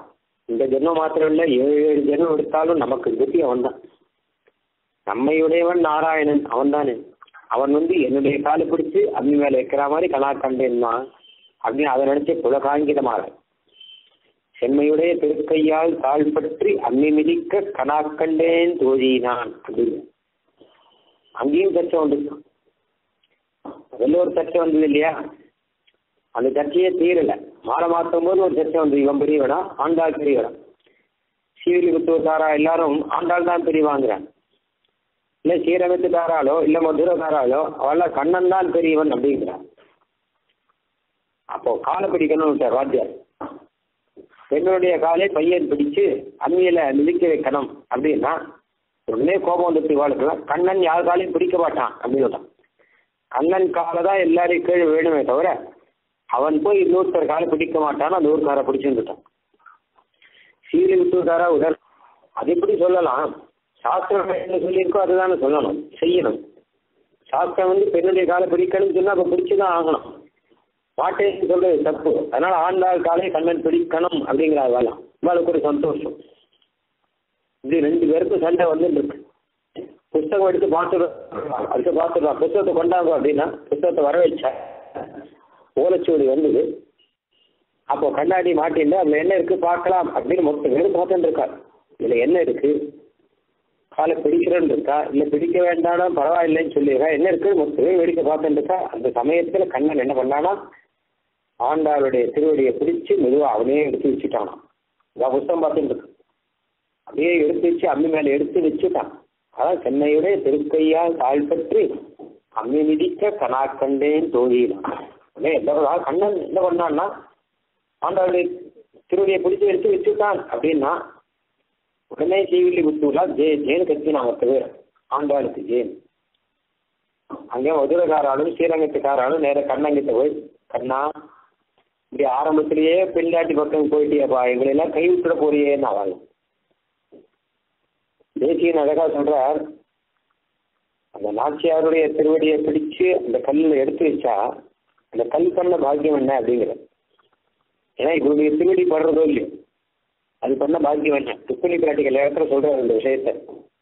சாட்சாத் லக்ஷ்மி தேவியே வரும்போது அவர் அவர் திருவடி பட்டு எடுக்கணும் அது சாதாரண கல் இல்லை. அது ரத்தன கல்லா இருக்கலாம். எத்தனை பாக்கியம் பண்ண கல்லா இருக்கணும் அப்படிங்கிற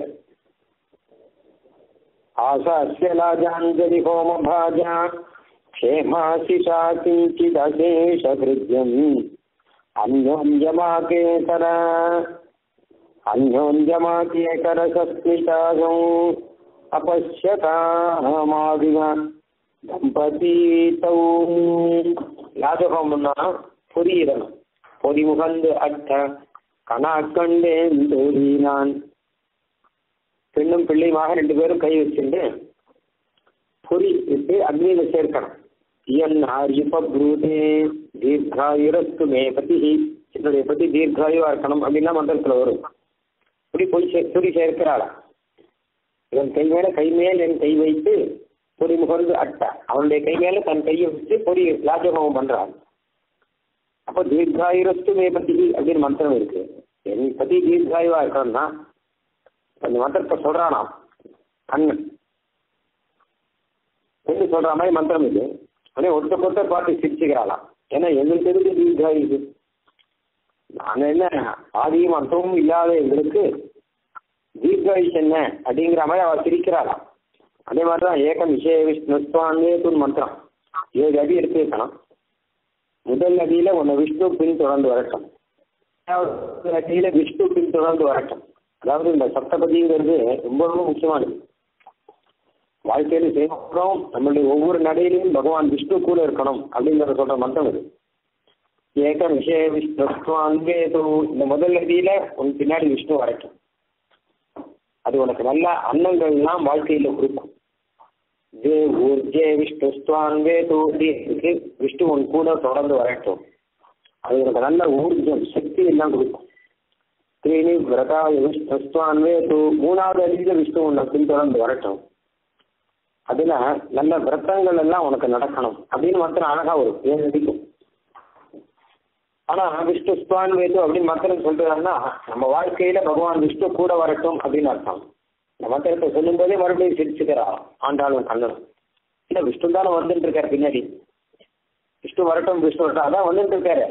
விஷ்ணுஸ்வான் வேதி அப்படின்னு சொன்னா நல்லா இருக்கும் போல. விஷ்ணு வந்துட்டு இருக்கார் அப்படின்னு சொன்னா நல்லா இருக்கும். விஷ்ணு வரட்டும்னு சொல்றதை காட்டும். விஷ்ணு வந்துட்டு இருக்காருன்னு சொன்னா நல்லா இருக்குமேங்கிற மாதிரி ரெண்டு பேரும் பார்த்து சிரிச்சுக்கிறாங்க. மனுஷ்யதாம் மானவியதோ விகாரை சுவாமேவ தேவீமுபயச்சதஸ்தே சமேததாம் மங்களமித்யுசந்தா சத்யாசிஹஸ்தம் குணயஸ்வ சம்சுகும் இப்படி ஆச்சரியமான விவாகங்கள். ரொம்ப அழகா நடந்துருக்கு மகரிஷிகள்லாம் மேலிருந்து சத்தியாசனம் ஆசாசனம் பண்றாளாம். சத்யாரேதா அசிஷஸ் சந்துங்கிற மாதிரி அவர்களாம் சொத்தி வசனம் சொல்றா மனுஷனாக பகவான் வந்து அவதாரம் பண்ணியிருக்கார். அப்போ விராட்டியும் அவதாரம் பண்ணும்போது ரெண்டு பேருக்கும் நடக்கிற விவாகத்தினாலே லோகங்கள்லாம் க்ஷேமமா இருக்கட்டும் அப்படின்னு சொல்றாங்க தம்பதிகள் க்ஷேமமா இருக்கட்டும் தம்பதிகளுக்கு சிதாயுஷ் அப்படிங்கிறது சொல்லலை.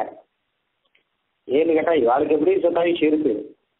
இவாளால லோகங்கள்லாம் க்ஷேமமாக இருக்கட்டும் எல்லாத்துக்கும் மங்களம் வரட்டும் அப்படின்னு மகதிஷிகள்லாம் வாசனத்தை பண்ண ஆச்சரியமான விவாகம் நடக்குது. தாய் நல்லார் நல்ல மரியாதை முந்திரத்தான் சொன்ன மாதிரி இதுவும்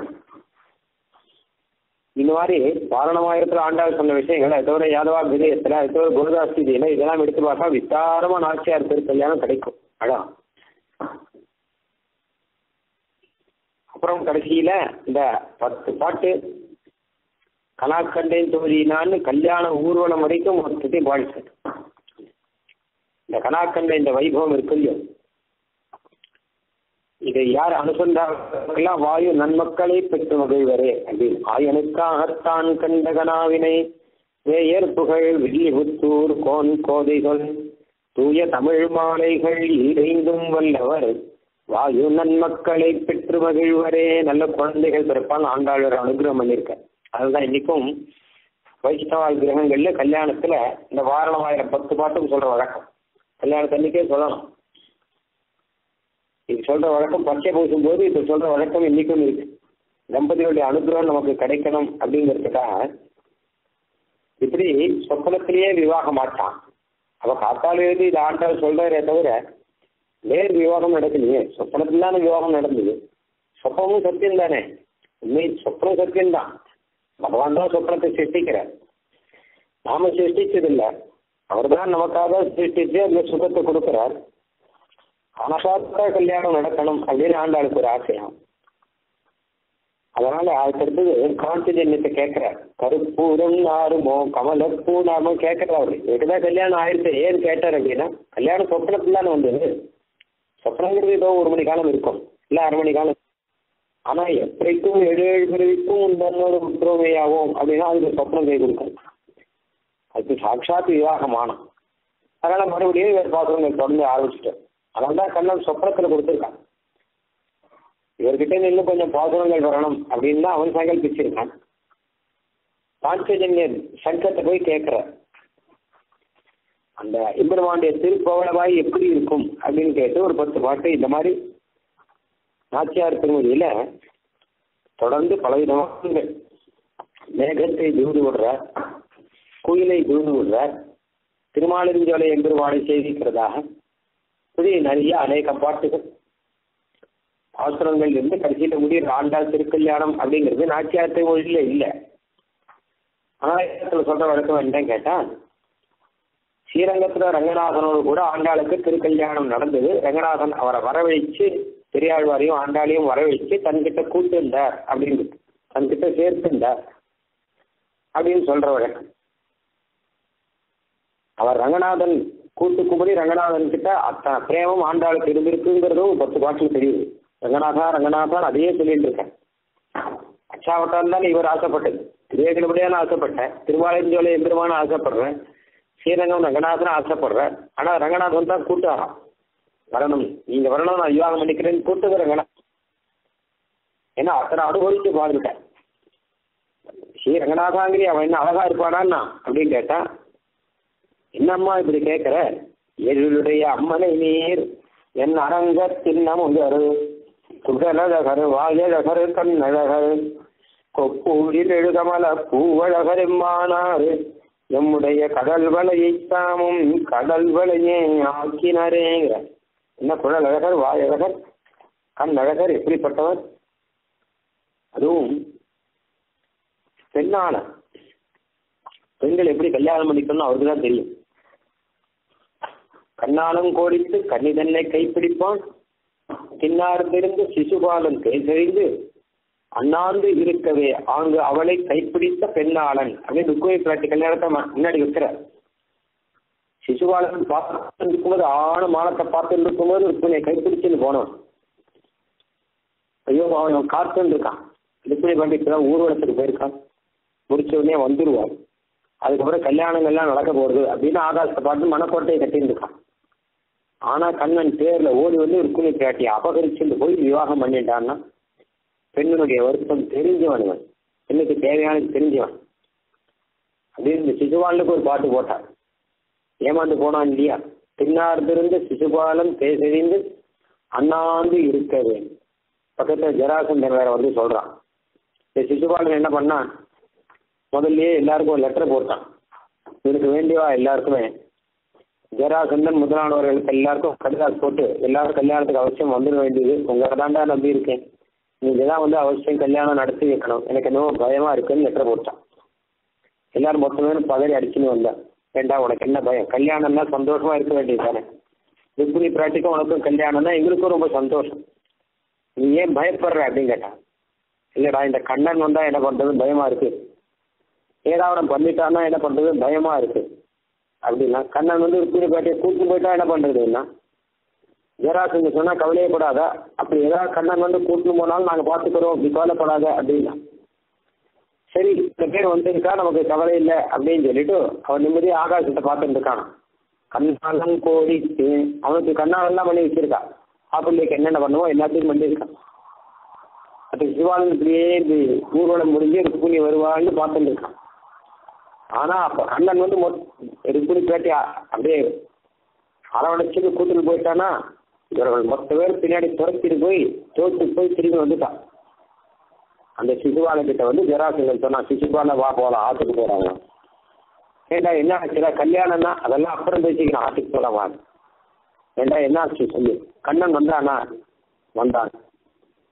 கண்ணன் வந்தானோடனே என்னாச்சு எனக்கு புரிஞ்சு போச்சு. நான் உங்களையெல்லாம் எதுக்கு கூட்டேன் நான் பேர் சொல்லணும் இல்லையா? நீங்களாம் கல்யாணத்துக்கு வாங்கன்னு சொல்லணும் இல்லையா? எதுக்காக உங்களையெல்லாம் கூட்டேன் நீங்க என்ன சொன்னியோ அதுதான் செஞ்சோம். கல்யாணத்துக்கு வர சொன்னே வந்தோம். இல்லடா கண்ணன் ருக்மிணி பிராட்டி அபகரிச்சுன்னு போகும்போது பார்த்துக்கிறேன்னு சொன்னாங்களே அப்படின்னா ஆமா இப்பவும் பார்த்துட்டு தான் இருந்தோம். பார்த்துக்கிறேன்னு தானே சொன்னோம். இப்பவும் பார்த்துட்டு தானே இருந்தோம். சிசுபாலா கோவிச்சுக்காத ஏடா இப்படியே கல்யாணம் போயிடுச்சுன்னா என்ன பண்றது? இன்னும் அடுத்த கல்யாணம் பார்க்கணும். அங்கேயும் கண்ணன் தான் என்ன பண்றது? அப்படின்னா இதெல்லாம் வாழ்க்கையில சகஜப்பாங்கிறான் என்ன என்னப்பா? நான் எத்தனை வாட்டி கண்ணன் கிட்ட தோத்துருக்கேன் தெரியுமா? பதினேழு வாட்டி தோத்து ஆனா இன்னைக்கு கம்பீரமா நடக்கல நான். அது மாதிரி நீயும் வாழ்க்கையில தோல்வி சகஜம்பா. இதெல்லாம் சகஜமா எடுத்துக்கோ. பா ஆத்துக்கு போகலாம் போறதுக்கு முன்னாடி கல்யாண சாப்பாடு சாப்பிட்டு போயிடலாம். அதெல்லாம் வீணா போயிட போகுது. அப்படின்னு சொல்லி அவனை கூட்டுன்னு போனான். அப்படி ருக்மிணி பிராட்டியை விவாகம் செய்திருந்த பெண்ணாளன் பேணுமோர் பேணுமரங்கமே அப்படின்னு ரங்கநாதன் கிட்ட அத்தனை விசுவாசத்தோடு சொல்லியிருக்கார். ஆண்டாள் காவிரி நீர் செய்குரலோடும் திருவரங்க செல்வனார் அப்படிங்கிற நல்லார்கள் வாழும் நள்ளிரங்க நாகனையான் அப்படிங்கிறார். இதெல்லாம் பார்த்து ரங்கநாதனே ரொம்ப சந்தோஷத்தோடு கூட பெரியாழ்வார் கூட்டு உம் ஆண்டாளோடு கூட ஐச்சல்ல இந்த இடத்துக்கு வந்துருவோங்க ஸ்ரீரங்கத்துக்கு. அவரும் ஐச்சல் போக ஆண்டாளும் பெருமாளை சேவிக்க கேசவ நம்பியை கால் பிடிப்பான் என்னும் இப்பேறு எனக்கு அருள் கண்டாய் அப்படின்னு சொன்ன மாதிரி ரங்கநாதருக்கு பாத சேவை பண்ற மாதிரி பண்ணி ரங்கநாதரோட கூடவே இருக்கார். கூட சேர்ந்துட்டார் ஆண்ட ஆண்டாள் பிரிஞ்சப்புறம் தான் பெரியாழ்வாருக்கு ரொம்ப கஷ்டமா இருந்தது. இப்படிப்பட்ட பெண் கிடைச்சா நமக்கு. ஒரு மகள் தன்னை உடையேன் உலகம் நிகழ்ந்த புகழான் திருமகள் போல் வளர்த்தேன். செங்கன்மால் தான் கொண்டு போனான். பெரியாழ்வார் மாலை கட்டி பெருமாளுக்கு புஷ்பங்களை சமர்ப்பித்து சீவிரி குத்துல கொடுத்துட்டு இருந்தார். ஆனா இன்னே மாலை கட்ட தோணுமா? திருமாளுக்கு எப்படி நான் இந்த கையால மாலை கட்டி கொண்டு போவேன்? ஏன்னா என் பெண்ணு தானே அந்த மாலையை சாத்திட்டு சூடி பெருமாளுக்கு கொடுத்தார். அதுதானே வடபத்திர சாயில் வேணும்னு சொன்னான். இப்போ என் பெண்ணு பக்கத்துல இல்லையே. அந்த மாலை எடுக்கும்போதே பெண்ணோட ஞாபகம் வருதான் இப்படிப்பட்ட பெண் நமக்கு இருந்தார் திருமகள் போல் வளர்த்தேன். சாக்கா லட்சுமி தேவி மாதிரி இருந்தாரு இப்படி கூட்டுன்னு போயிட்டானே அவன். இனிமே என்ன பண்ணுவேன்? எனக்கு விருத்தியே போயிடுச்சு நான் செஞ்சுட்டு வந்த கைங்கரியமே போயிடுச்சுன்னு கவலைப்படும் போது ஸ்ரீரங்கத்தில் ரங்கநாதன் கவலப்படாதையும் பெரியாழ்வார். நீ சீவிட்டு போயிரும் நானே அங்கே வரேன்னு விட்டேன். வேற இன்னொரு ரூபத்தை எடுத்தது சீவிலிபுத்தூர் வந்து உம்ம கூடயே இருக்கேன். ஆத்தோட மாப்பிள்ளையா இருக்கேன். உங்க ஆத்துக்கு மாப்பிள்ளையா உங்க கூடயே இருக்கேன். அப்படின்னு சொன்னேன். உங்க விட்டு பிரியலன்னுட்டேன் அதனால ரங்கமன்னாராக வந்து சீவிலிபுத்தூர்ல ஆண்டாளோட கூடவே இருக்கார் ரங்கநாதன். பெரியாழ்வாரும் ரொம்ப சந்தோஷமா பக்கத்திலே இருந்துருக்காராம். இந்த மாதிரி ஆண்டாள் திருக்கல்யாணம் லோகத்துக்கெல்லாம் அத்தியந்த க்ஷேமத்தை கொடுக்கும்படியாக அமையுது. இன்னைக்கும் ஆண்டாள் பெருமாள் பக்கத்துல இருந்து கல்யாண உற்சவம் நடக்குது. போகி சமயத்திலாம் திருவாடிப்புறத்திலையும் இந்த திருப்பாவை உற்சவத்துல கடைசி நாள்லயும் ஆண்டாள் திருக்கல்யாணம் அப்படின்னு அழகா நடக்கிற வழக்கம். எல்லா கோயிலும். ஆண்டாள் பெருமாள் பக்கத்துல இருக்கிறபடினால நம்ம குறைச்சோங்கிற தேசிய ஆர்திராபராதி நிஜனேபி அபிலக்ஷணார்த்தம் ரங்கேஸ்வரஸ்ய ரமயா விநிவேத்தியமானே பார்ஷே பரத்ர பவதி யதி தத்ர ந பிராயேண தேவி வதனம் பரிவர்த்திதம் சியாத் ரொம்ப ஆர்திரா அபராதம் பண்ணிட்டு வந்திருக்கோம். அபராதம் பண்ணிட்டு அந்த அபராதம் பண்ண கை உலர்றதுக்கு முன்னாடி பெருமாள் கிட்ட போய் சேவிக்கணும்னு வந்தா நம்ம பார்த்தா பெருமாள் முகம் திருப்பிடுவா. இவனை போய் பார்க்க வேண்டியிருக்கேன்னு கஷ்டம். அபசாரம் பண்ணிட்டே வந்தான்னா காகாசுரன் மாதிரி. அப்ப இவனை பார்க்க வேண்டியிருக்கேன்னு கஷ்டத்தினால பெருமாள் இந்த பக்கம் முகம் திருப்பிக்கிறார். வலது பக்கம் முகம் திருப்பினால் அங்கே ஸ்ரீதேவி இருந்து எடுத்து சொல்ற பெருமாள் கிட்ட.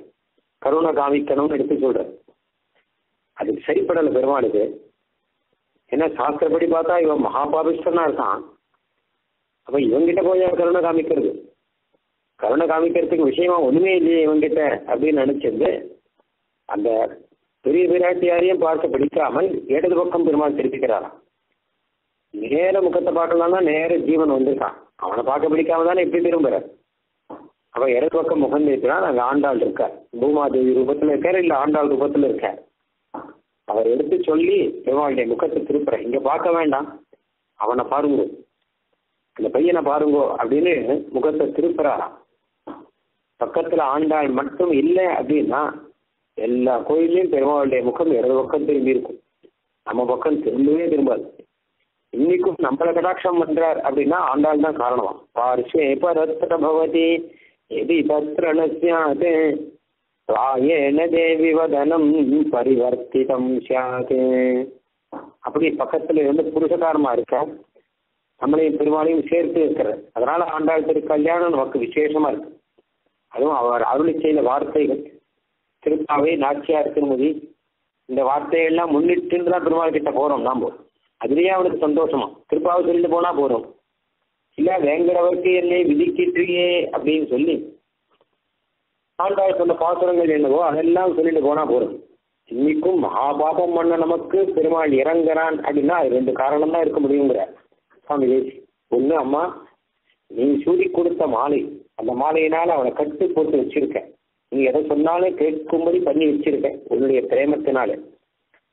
ரெண்டாவது மதுரையச்சகீராம் நிகும் மதுரமான உன்னுடைய வார்த்தைகள் இது ரெண்டு தான் இது ரெண்டுக்கும் அவன் கட்டுப்படுறான். உன்னுடைய மாலைக்கும் கட்டுப்படுறான். உன்னுடைய வார்த்தைக்கும் கட்டுப்படுறான். உன்னுடைய பூமாலைக்கும் கட்டுப்பட்டு இருக்கான் உன்னுடைய பாமாலைக்கும் கட்டுப்பட்டு இருக்கான் நாங்கள் புழைச்சோம் அப்போ நீ அருளி செய்த அந்த அதே வார்த்தை இருக்கும் இல்லையோ? அதையே நாங்கள் சொல்லிட்டு போகிறோம் அதே நாங்க சொல்லிட்டு போச்சோம் உனக்கு கட்டுப்பட்டு இருக்கு அப்படின்னா ஏது ஆண்டாவது சார் போல சேர்ந்து பரபரப்பா ஓடி வந்து ஒரு கடாட்சத்தை பண்ணிடுறான் ஆண்டாவுடைய வார்த்தையை கேட்ட உடனேயே அப்போ அந்த மாதிரி திருப்பாவையை கொடுத்து நமக்கு ஒரு அனுகிரகம் பண்ணிருக்கு நாச்சியார் திருவழியை கொடுத்து அனுகிரகம் பண்ணிருக்கு பெருமாளுடைய இடது பக்கத்துல இருந்து அனுகிரகம் பண்ணிருக்கு பெருமாளுக்கு கல்யாண உற்சவம் நடத்தி கல்யாணம் பண்ணிட்டு எங்களுக்கு அனுகிரகம் பண்ணிருக்கு அப்படிங்கிறது ஆச்சாரியால் மொத்த பேருமே அனுபவிச்சிருக்காள் குறிப்பா கோதாஸ்தின்னு ரொம்ப ஆச்சரியமா அனுபவிச்சிருக்காள் விலசத்து ஸ்ருதி கோதா விஷ்ணு சித்தாத்மஜா அனஹாங்கிற என்னுடைய மனசுல ஆண்டாலே எப்பவுமே இருக்கட்டும் அப்படின்னு பிரார்த்திக்கிறேன் இப்படி நாச்சியார் திருக்கல்யாணம் அதுவும் சூரிய கொடுத்த நாச்சியாருடைய திருக்கல்யாணம் ஆச்சரியமா இருந்து சகல லோகத்துக்கும் சேமப்பிரதமாக இருக்கு. ரெண்டு திவ்ய தம்பதிகளா அதுவும் அந்த பக்கம் வலது பக்கம் பிரா பெரிய விராட்டியோடும் இடது பக்கம் பூமி பிராட்டியோடும் ஆண்டாவதும் இப்படி பல இடத்துல சேவை நடக்கிறபடினால ஜீவர்களுக்கெல்லாம் மனசுல ஒரு நிம்மதி ஒரு தெளிவு இருக்கு. நம்ம சரணாகிட்டு கட்டாயம் பலிக்கும் அப்படின்னு விசுவாசம் பூர்த்தியா அவளுக்கு அமையறதான் இந்த புருஷகாரத்துக்கு அத்தனை பிரபாவம் இருக்கு அப்படின்னு. அப்படி நமக்கு பரம உபகாரம் பண்றா ஆண்டாவுடைய திருவடிகளே சரணம் அப்படின்னு எப்பவும் சொல்ல வேண்டியது. சதமகமர நீலா சாரு கல்காரஹஸ்தா स्तनभरणमिताङ्गी सान्द्रवात्सल्य सिन्धुः अलकविलिखिता भिस्पग्भिरा கிருஷ்ணநாதா விரசதி ஹிருதி கோதா விஷ்ணு சித்தாத்மஜானஹா இந்த திருப்பாவுடைய பிரபாவத்தினாலேயும் சூரியப்படுத்த நாச்சியாருடைய திருக்கல்யாண வைபவம் இருக்கும் இல்லையோ அதனாலேயும் ஆண்டாளுடைய அனுகிரகத்தினாலேயும் கண்ணன் அனுகிரகத்தினாலேயும் எங்கெங்கும் திருவுருள் பெற்று எல்லாரும் சந்தோஷமா இருக்கணும் அப்படிங்கிறத நம்மளும் பிரார்த்திப்போம் நமக்கு ஒரே பிரார்த்தனை எற்றைக்கும் ஏழு ஏழு பிறவிக்கும் உடனோடு உற்றோமேயாவோம் உனக்கே நாம் ஆட்சிவோம் மற்றேனங் காமங்கள் மாற்று அப்படின்னு ஆண்டாள் பாசுரம்படி அமையணும் அப்படிங்கிறதையும் பிரார்த்திப்போம். கவிதாச்சிக சிம்ஹாய கல்யாண குணசாலினே ஸ்ரீமதே வெங்கடேசாய வேதாந்த குரவே நமஹா. ஆண்டாள் திருவடிகளே சரணம்.